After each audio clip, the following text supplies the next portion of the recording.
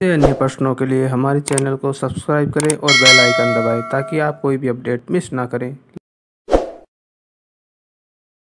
प्रश्न, बारदोली सत्याग्रह के नेतृत्व किसने किया था? उत्तर वल्लभ भाई पटेल 1928 इस आंदोलन के समय यहाँ की महिला ने इन्हें सरदार की उपाधि दी थी।